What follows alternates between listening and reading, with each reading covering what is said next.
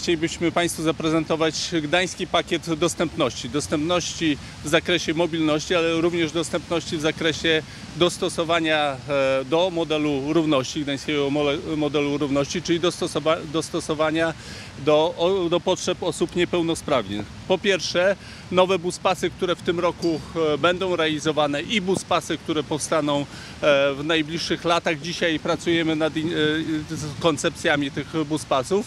I po drugie, przejścia dla pieszych. Przejścia dla pieszych, których chcemy zaproponować 17 w, w cz- 14 lokalizacjach, z czego 10 e, przejść dla pieszych ma już zapewnione finansowanie. W pierwszej kolejności mówimy o buspasach, czyli mówimy o buspasach, które powstaną już w tym roku, czyli w e, ulicy Schuberta w relacji do Ronda i ulicy, w ulicy Trak Świętego Wojciecha na tym e, odcinku od strony Pruszcza, czyli od posesji numer 451 do posesji numer 389 w relacji do centrum. Chodzi o to, żeby e, zwiększyć dostępność w zakresie komunikacji autobusowej e, właśnie e, za pomocą buspasów i to są te e, elementy, które w najbliższym czasie powstaną. O elementach, które e, związanych z projektowaniem buspasów e, w najbliższym czasie powie w tej chwili pan dyrektor, zastępca dyrektora Gdańskiego Zarządu Dróg i Zieleni, pan Tomasz Babrzonek. Dzień dobry Państwu. Jeżeli mówimy o nowych buspasach, trwają prace projektowe, analityczne nad kilkoma w- buspasami w bardzo istotnych e, punktach miasta. Jednym z takich najistotniejszych to jest żo- e, Aleja Żołnierzy Wyklętych. E, Jest pomysł, jest koncepcja wykonania buspasa zarówno na kierunku do Wrzeszcza i to byłby odcinek w zasadzie od granicy lasu aż do ulicy Chrzanowskiego, jak również w przeciwnym kierunku od ulicy Chrzanowskiego do skrzyżowania z ulicami Potokową i e, Góralską.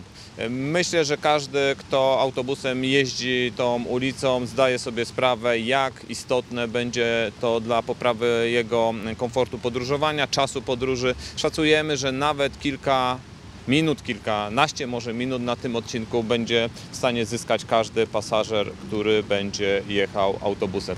Kolejnymi takimi buspasami, analizami to jest między innymi Aleja Grunwaldzka. E, Analizujemy, czy na odcinku od e, Barzyńskiego do Wojska Polskiego można zrobić buspas? Jeżeli tak, to z jakimi konsekwencjami dla e, pozostałego ruchu by się to e, wiązało?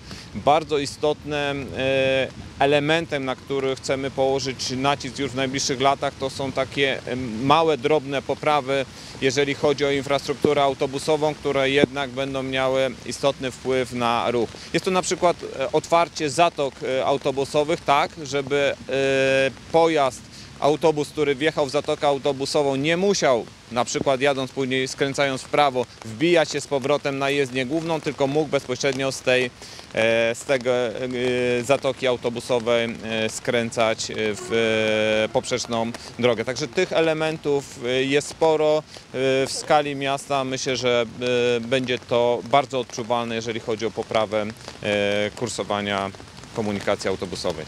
Czyli pracujemy nad kolejnymi buspasami i pracujemy nad e, kolejnymi projektami związanymi z dostępnością dla pieszych, czyli te dwa elementy pir- piramidy mobilności, które są dla nas niezwykle istotne, jeśli chodzi o strategię miasta. Chcemy, e, żeby one otrzymały priorytet. Przypomnę, że w ostatnim roku powstało przejście na podwalu e, przedmiejskim. Będziemy dalej realizować pakiet przejść na podwalu e, przedmiejskim zgodnie z, e, z projektowaniem i zgodnie z, z, inwestycjami, które są przygotowywane przez Dyrekcję Rozbudowy Miasta e, Gdańska.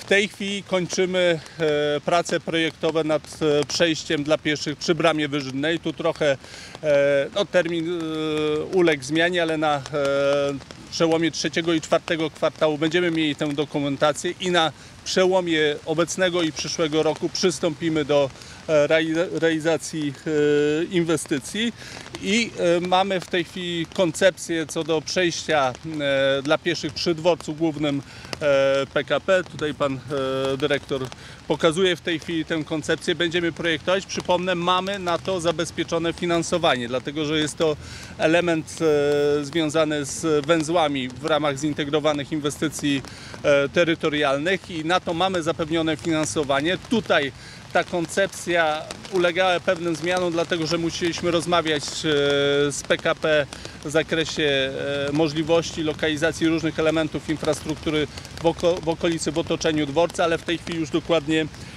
wiemy, jak, e, jak to będzie wyglądało. I też e, za chwilę poproszę pana dyrektora, żeby powiedział o innych przejściach, które projektujemy, na które mamy częściowo finansowanie, a które będziemy również znajdować finansowanie w przyszłości. E, Szanowni Państwo, jeżeli chodzi o przejścia, Pan Prezydent wspomniał 14 lokalizacji, łącznie 17 przejść. E, Mówimy tu o najważniejszych ciągach komunikacyjnych Gdańska. Aleja Grunwaldzka, Aleja Zwycięstwa, e, ulica Chłopska, Aleja Rzeczpospolitej, Podwale Przedmiejskie, e, ciąg główny w Śródmieściu, czyli Podwale Grodzkie, Wały Jagiellońskie. Choćby z tej, z tej wyliczanki widać, że to są te ciągi komunikacyjne, które pełnią najważniejszą rolę w obsłudze ruchu w mieście.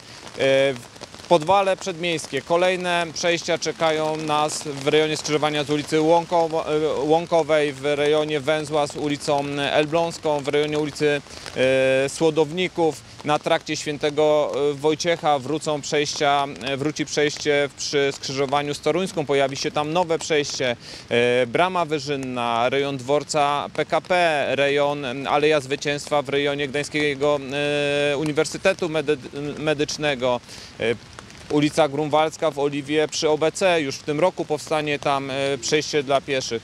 E, przejście przez ulicę Chłopską w rejonie pomiędzy ulicami Piastowską i Pomorską w rejo- w rejonie potoku, w ciągu potoku e, Oliwskiego. Są to przejścia, które mają już finansowanie. Ja chcę podkreślić, że nie mówimy tutaj tylko o wylaniu farby i e, ustawieniu czterech e, dodatkowych znaków drogowych. Są to przejścia, które przede wszystkim muszą być bezpieczne, czyli każde z nich będzie wyposażone w sygnalizację świetlną.